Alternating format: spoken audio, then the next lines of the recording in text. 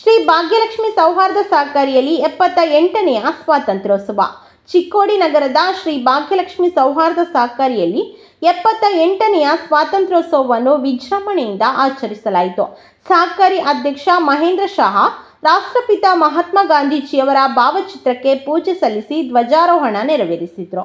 ಈ ಸಂದರ್ಭದಲ್ಲಿ ಉಪಾಧ್ಯಕ್ಷರಾದ ಗಿರೀಶ್ ಕೋಳಿ, ನಿರ್ದೇಶಕರಾದ J T Boke doctor M S Nimbalkar Desai Raju Madiwal, Kiran Mahadwar A D Kulkarni, Ravi Ashwathpur, Laxman Mali M L Mali N A Kulkarni S C Manga, ಕಾರ್ಯದರ್ಶಿ R M ಪಾಗಂ ಸೇರಿದಂತೆ ಸಿಬ್ಬಂದಿ ವರ್ಗದವರು ಉಪಸ್ಥಿತರಿದ್ದರು.